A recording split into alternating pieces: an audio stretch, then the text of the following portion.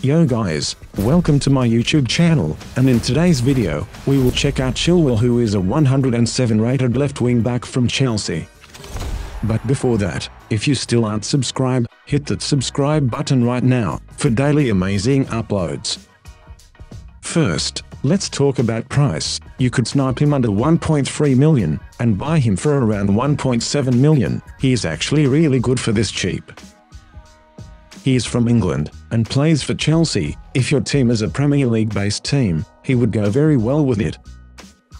You can see his stats on the background, they are pretty decent, he is an overall good player.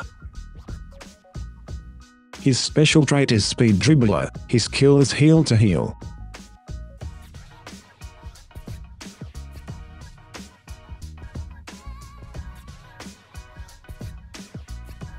So after playing with him for quite a while, he is actually really good. I would definitely recommend you going for him, if you are looking for a Premier League left wing back.